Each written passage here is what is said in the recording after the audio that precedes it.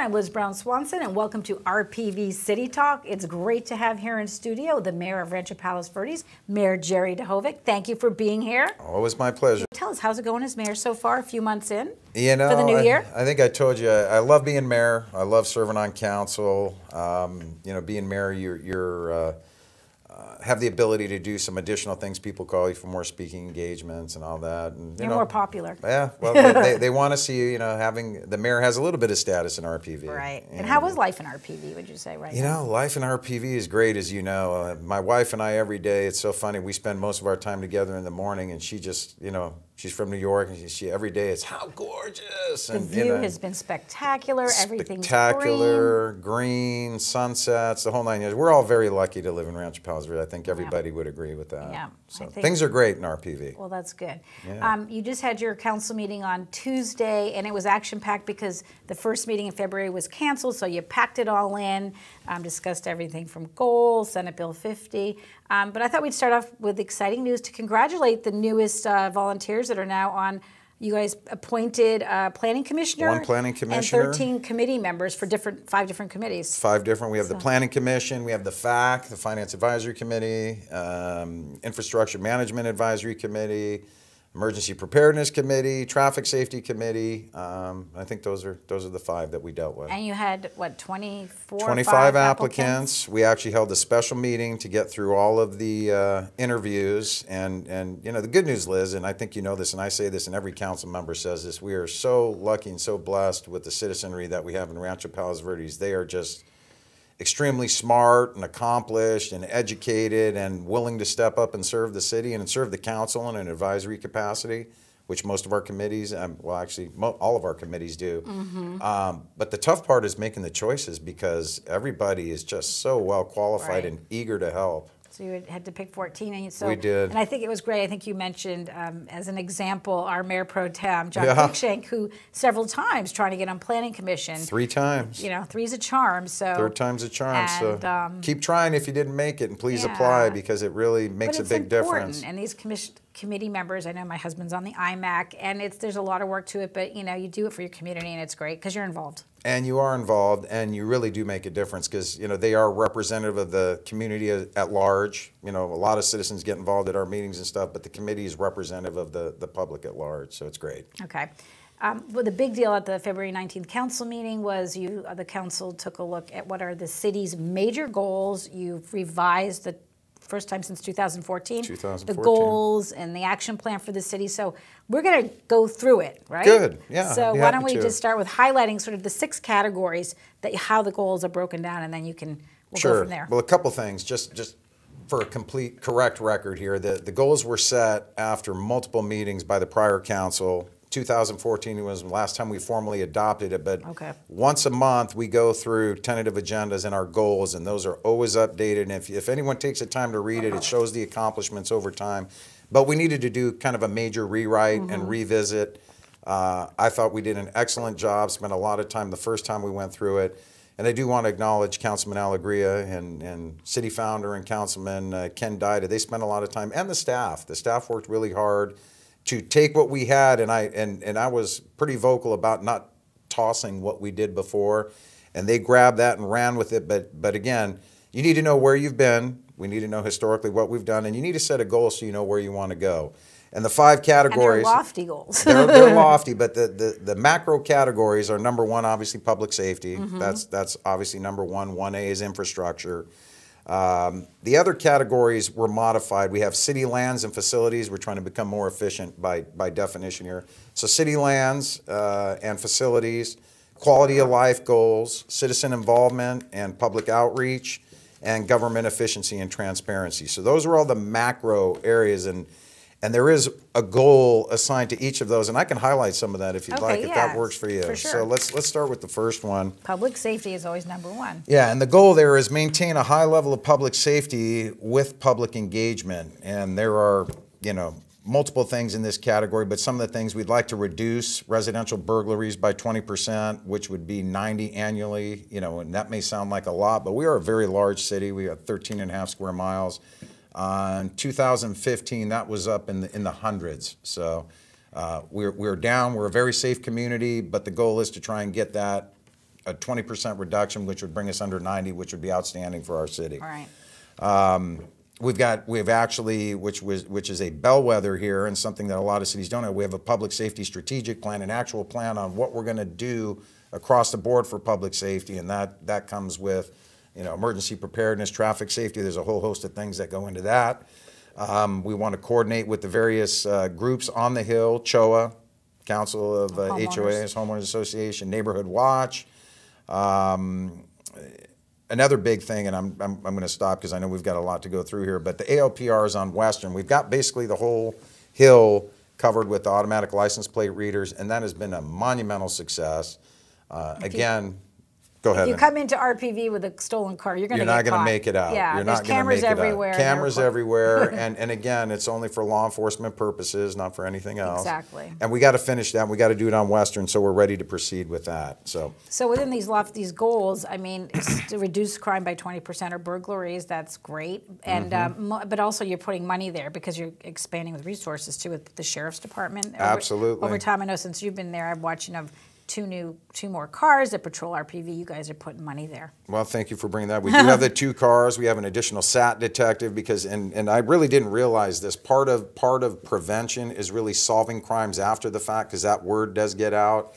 Uh, we also have a dedicated patrol uh, for the south side of the hill, which was a which was a little bit of a stepchild at one point, and we got a lot more activity as far as guests and stuff. So we needed to make sure the south side was secured. So we spent a lot of money. Our actual uh, budget for sheriff services has gone up quite a bit, but I think that's money very well spent. One thing about, since we are saying sheriffs, is there any update about, we are without a captain still? I know We are. Lieutenant Mike White is acting. He is, and he's doing a fine job. And, and again, uh, as far as timing goes, we, we have very little input into that. Okay, we have so the new stay sheriff, tuned. Villanueva over there. Stay tuned. There's been a change at the hierarchy downtown, and But it's still business as usual at the sheriff's department Uh, we, there. we have excellent service. Obviously, we hated to see Dan Behringer go. He Mm-hmm. was great, and uh, but but we are we are still in great shape. Yeah, and, So- and because the sheriff's is understaffed, they're working on that, filling those vacancies. It It's a very interesting difference. you said that. Where I think our local station here, Lomita Station, is eight or nine sheriffs down right now, Yeah. which isn't good. But we are still, you know, there's a lot of overtime going on. They're they're they're stressed and taxed, but you know, we'll get through it. All right, so So- move on to goal number two. Goal number two, Infrastructure. infrastructure. And the goal there is to assess, prioritize, and plan for the maintenance improvement of all public infrastructure, including transportation systems, parking, utilities, storm drains, and sewers. Some highlights there, and I think that the public would be interested in this. Number one is arterial and fences master plan. You know, the city, again, I said, is very large. We have 13, 14 miles of major thoroughfares. We'd like to get some continuity on the walls. And, you know, you go to a lot of cities, they all have, you know, uh, posts or a certain color or a certain type of block. And we need to get some of that continuity because you have disparate fencing and it doesn't look all that great. So we're going to come up with a plan. It's not going to be done all in one fell swoop, but as things get replaced, they're going to have to conform to the plan. So that's a big one there. Um, dealing with our with, with our sewer and storm drains is huge in RPV. we have a 10-year program that the prior council insisted on that we actually looked at all our storm drains and we have a plan that we're going to attack a certain portion of that over the course of the next 10 years. Very important. You know, we had those uh, sinkholes on Western many years ago and, and what a disruption that was. So we never want to see that happen again. Another big one on infrastructure is the landslide. We're going to get our hands dirty on that. We're moving forward with that. That's very important. If we can save some of the six hundred thousand to a million dollars we spend repaving, that'd be paving great. today. Paving today, and I saw them. The notice came out. You may see a little Yes. delay there. Yep. Um, schedule a master schedule for the the maintenance of all assets. That's a good thing to do. You think that goes without saying, but it really doesn't. One of the other big things we have is the undergrounding of utilities. Now, what's interesting there, I know Councilman Cruikshank has been a big advocate, as has Councilwoman Brooks and I. But just up until very recently, there was a major impediment to doing that. That Southern California Edison said basically, we do it when we want to do it, and by the way, you have to pay for it. And the, the dollars with undergrounding utilities are astronomical. But apparently that's changed. There's going to be some cooperative effort. The biggest piece of that is we really want to talk about um, um, undergrounding in our open space because you know we are we are a fire rich environment unfortunately there's beauty associated with that but once things dry out and you get a fire it could be catastrophic Right. and and and most of the major fires we had in the open space had to do with utilities faulty utilities, dropped wires, squirrels, you know, triggering a transformer and starting major fires, which could be catastrophic. So we're looking into that. That's important. Um, traffic improvements along Western, you know, again, Western, some of the some of our East Siders think Western is a little bit of a stepchild over there. And what's what's odd there is half of the street is LA City, half is ours. So mm-hmm. we're trying to communicate together and working with the city of LA. You know, they're a behemoth, and that that takes a lot of doing and a lot of years to get done. But we're going to move forward on that. And finally, again, the acquisition of all the street lights and, and changing to LEDs, saving a lot of money there, and also allowing us to put the A- ALPRs on the east side. So So that's going forward this year then. going forward this year, that's a done deal. So moving on now, we we moving on to the next goal? Sure, city lands and faci- facilities. All right. Okay, assess, prioritize, and plan for the maintenance improvement of all city-owned properties. That encompasses a lot of different things, buildings, parks, uh, the proposed civic center, and that's probably number one on our list right now. And again, we talked about this before. We have to get some of the, the deed restrictions squared away with the national park system to even think about doing anything. We may or may not get there with the civic center, but we at least have to get the steps in place. So that's there's several goals associated with that that we'll we'll, we'll get to. And you still have a. Civic Center Advisory Committee meeting about this as well. We do, and we're very grateful to that group. That's another committee. That's uh, not a standing committee. It's an ad hoc committee for a special purpose, and that that's a large group there. And they are very diligent, and meet quite a bit, and have a lot of good ideas. But I think what you were also saying at the meeting in terms of the Civic Center, until you can get those deed restrictions list, lifted on this property here where we're sitting to actually build something, there's, you know, making all these plans, right? It's like moot. You can talk about, oh, let's see, how are you going to finance it? How you're going to do all this? And I kind of said, you're putting the cart before the horse. So let's see if we can even do something. But So- we have a team out there, there's lobby, you have people working in Washington DC to get these, We do, and we actually, the good news is. I think it's Chairman Bishop of the national, at the federal level in Congress, is supportive of our efforts. So I think we'll get there. Yeah. And, and I know Councilwoman Brooks has worked hard. She's done some personal lobbying Mm-hmm. locally and in DC, and Doug Willmore. We've paid a lobbyist, so hopefully that will, will, will uh, bear some fruit. Now, the government shutdown changed some of that Yeah. timing and, and the, the changeover in Congress too, so we'll see what happens, but I'm, I'm optimistic, as I normally am, so. Okay. Ladera Linda, as you know, that's a big one right around the corner from us. You know, several items, several tasks, several uh, uh, things that need to be accomplished there. But we're moving forward. Actually, uh, hats off to Cory Linder and staff. They are meeting with council members, uh, individual HOAs, indi- individual HOAs, individually and in group set- settings. Um, there's so- been a lot of meetings. a lot of meetings, and there's a lot. right. a lot of people are, you know, have a lot to say about it. And it's a very unique parcel there. Uh, unlike some of our stuff that's on major thoroughfares, Hesse Park and Ryan Park and all that. This is a, you know, two lanes, one in, one out, neighborhood right next door, old school. You know, there's it's, it's a lot of a lot of uh, interesting dynamics that have to be addressed there. So very interested in what the public has to say, and not just the immediate public, but the public at large. So they're doing a good job there.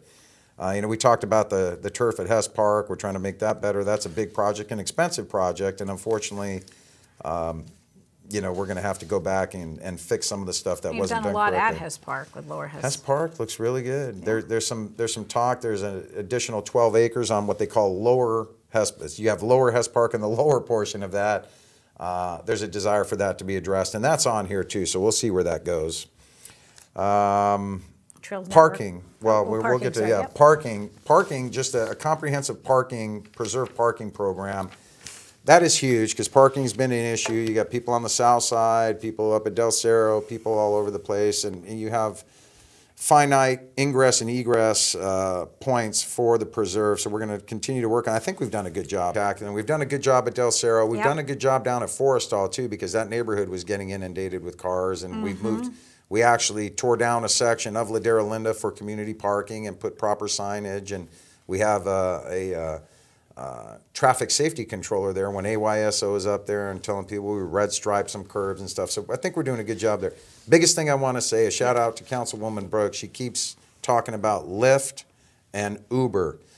If you really think about it, that is the best way to deal with it because you can be anywhere. You hit that thing, they're going to come get you. That's right. And it's cheap, and you can get parked somewhere over, Mm-hmm. you know, at the promenade or wherever, or down the street, and get that Uber to take you Right. away from that instead of worrying about parking. Great idea. Yep. Great I'll idea. pitch that. Finally, the last one was the Trails Network Plan, and as we talked about before too, that's, you know, we have multiple plans out there. I think there's no less than five or six uh, different plans that have come forward over the last two or three decades, and we're really trying to consolidate that and get on the same page, Mm-hmm. using the same naming conventions and nomenclature and all that. Really, so it's useful for the public and staff and The and signs council. look beautiful that are Signs there. are gorgeous. They did a great job on that. They did, they Yeah. did. Hopefully, they don't that they don't fall into disrepair. but, No, you know. they did a nice job. Awesome. So those are those are some major ones on city lands and facilities.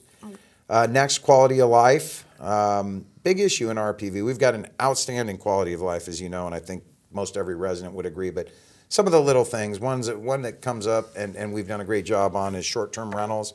Uh, that program, with with the assistance of our uh, uh, city attorney and staff, extremely successful. We, we have we have got it almost down to nothing now, uh, as far as it being a public nuisance. Um, you know, people have fallen in line on that, and we've gotten multiple more compliments than you can think of. The people are very pleased with that program, so we'll continue to pursue that. Uh, barking dogs, something that's some individuals think that's an issue and not an issue, but really what the issue is there. Uh, we contract with the county now, and they have a protocol to address it. The question is really, is that sufficient, or should we bring that in-house at the city and let staff locally deal with that? Because it really is a local issue, but the county's working hard to try and maintain that service, so we'll see what happens there.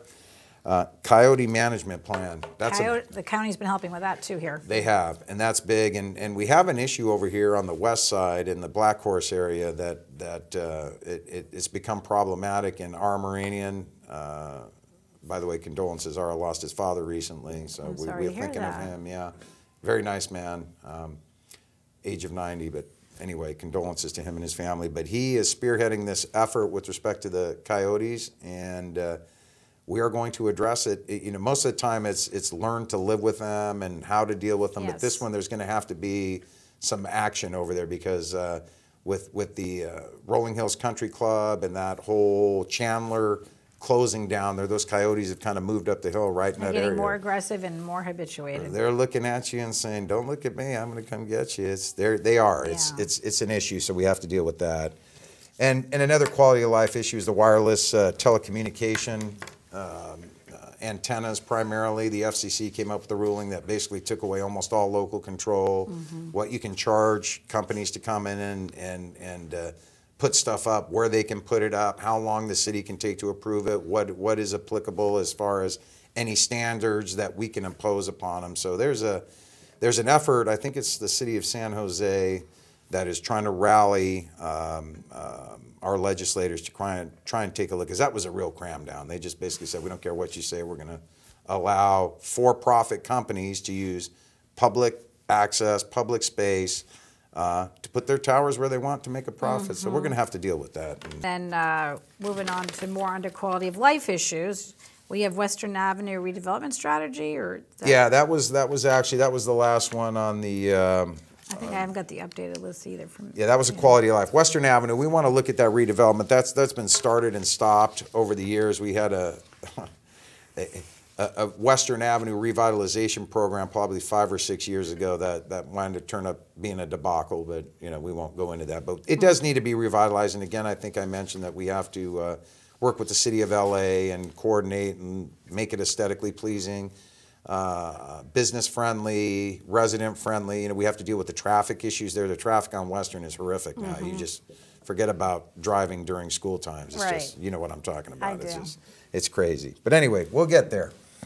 Uh, next one is citizen involvement And public outreach. Public outreach. You know, we want to One of talk. my favorite categories. It's a good one. We want to engage all the residents, community partners to help the city and our commissions and uh, um, committees and the staff basically in our decision-making process. So some of that stuff is, we actually have a leadership academy, if residents don't know that. I attended the last one. Did you? I did. I went with my husband Don, even though he's already on IMAC. I was more curious to see what was being presented, and So I you thought were an observer, not a participant? I, I participated and observed. Ooh, no, I was a good. participant. I thought I found it incredibly um, educational to have a better, even though I work in the city, to really understand how you communicate with staff and staff communicates with council.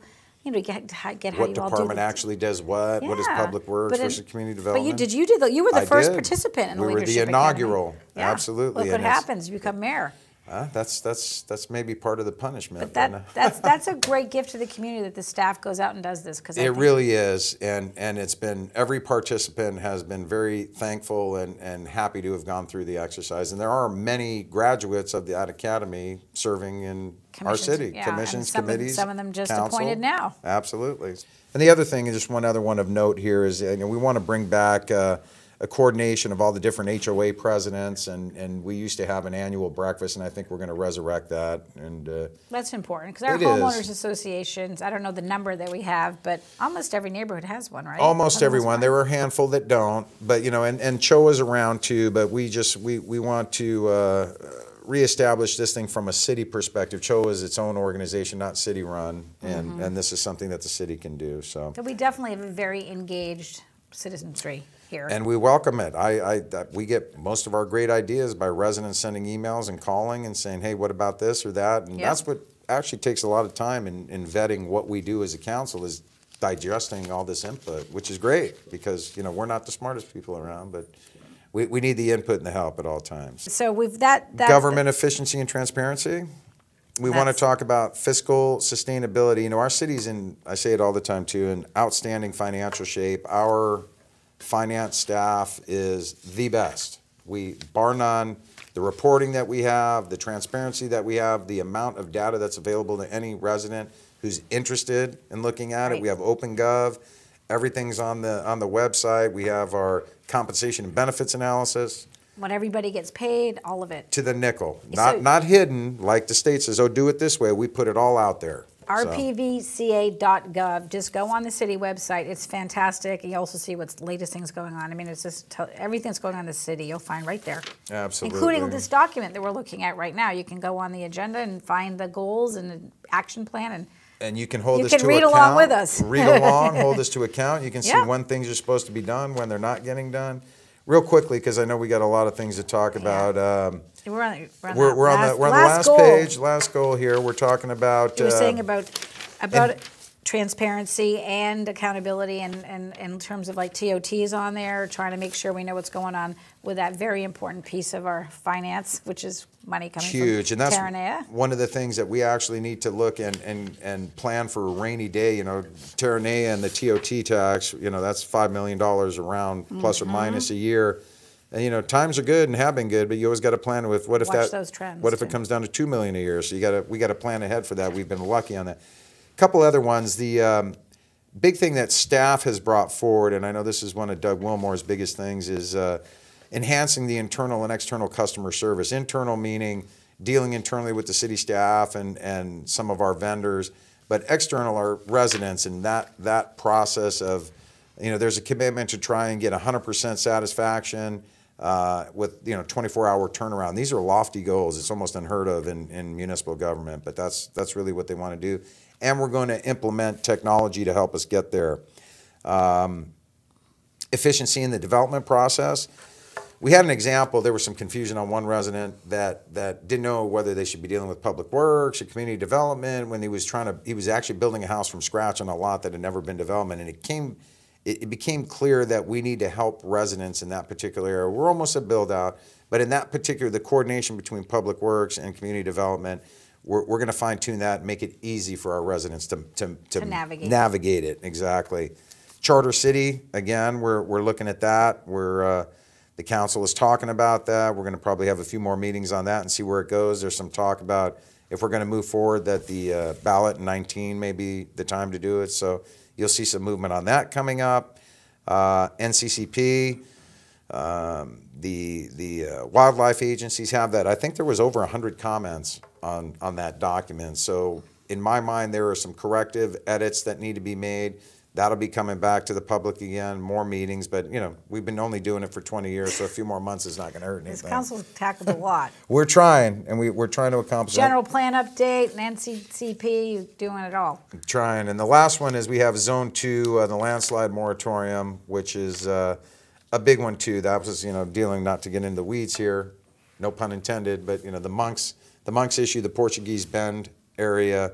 Um, There's, there are some residents back there that basically argued that they should Have the right. have the right to build, and, and we're gonna go through that. And there's an EIR, environmental impact report, CEQA, there's a whole host of stuff. So We could do a whole show on Zone Two. we could, Bend. and we may have to at some point. But anyway, that, that, that's it at a very high level. We, there are some edits to be made to this document, but in very short order, it'll be on the website.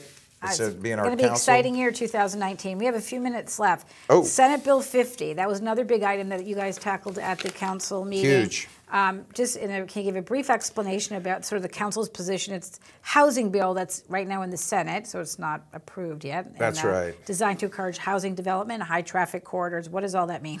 Well, anyway, Senate Bill 50 is, is a rewrite of uh, Senator Wiener's Bill 827, which was defeated before. And it basically says if you have uh, a, a high traffic area or a high job area, um, that there should, you should within a quarter mile have the ability to basically preclude cities from imposing restrictions and basically build 55 foot tall buildings in what potentially may be a single family residential area. And it, it supersedes again local control.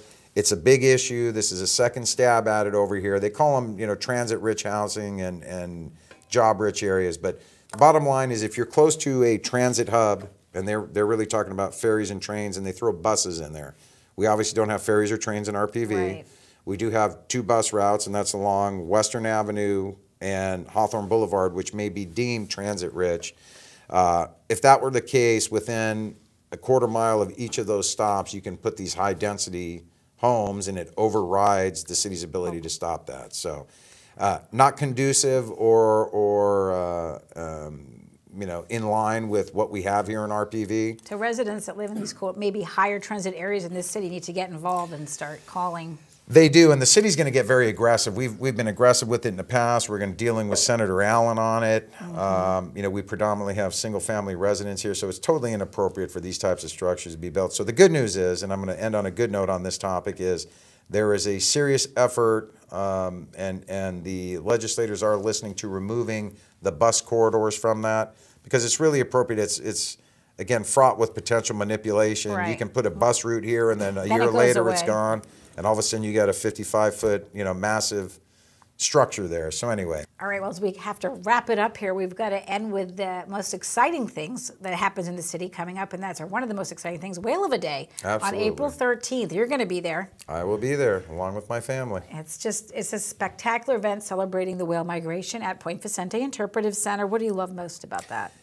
You know, Liz, I think one of the things I enjoy most is it's something my family uh, and I have enjoyed every year since we moved back to RPV. And as we get together since they were little kids up until now, they're teenagers and they still love to go to the Interpretive Center and Whale of a Day. So I look forward to that. And I also look forward to the uh, camaraderie with all the citizenry in RPV. It's a nice small town feel. Same thing like with our July 4th celebration. We're a big city, but you know the community comes together. You can chat with neighbors and see friends you don't see all that often. So it's it's a great event. And also a lot happening at PVIC right now. They're putting in two new exhibits. There'll be a ribbon cutting for those exhibits at Whale of a Day. That's One is going to be the uh, showcasing the Point Vicente Lighthouse Fresnel Lens Light. Absolutely. And that's pretty cool. And then there's a whaling one. So I don't know if you- you're excited the city supported to put those in. The city did, and we're, we're very grateful to the uh, California Cultural Historic Endowment that paid paid help us pay for these exhibits through grants. Uh, the Fresnel lens is something to behold. It was right down here at uh,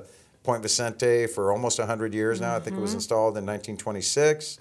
Uh, you know, you can see that thing 20 miles away. It was the largest illuminated uh, uh, feature in all of LA County for a long time. So we're excited to have that Yeah. at PVIC, and we also have the uh, Shore Whalers exhibit going in too. And whaling was a huge industry back in the mid 1800s. The Portuguese, you know, realize the the economic benefits of, of whale blubber. They used it for oil, cosmetics, etc. So there's going to be a very nice exhibit there. I'm very excited to see what they put together. Whale Day, it used to be in the beginning of March. It's been moved, so the migration is tending. The whales are now going back up north. But we see them, and we do uh, see them, and it's probably know, a better time of year, don't you think, to have this is. We, festival? we had to change it. I mean, due to weather, and we're, we're lucky. There's been a couple of years we've been rained out, but that first couple of weeks in April are, are the perfect time to do that. All right. Well, we covered a lot of ground here, We and uh, don't forget to get out there and join us at Whale of a Day. And thank you, Mayor Jerry Duhovic, for being here in studio. Thank you, That's going to do it for this edition of RPV City Talk. I'm Liz Brown Swanson. See you next time, and I hope to see you on April 13th at Whale of a Day. Take care, everybody.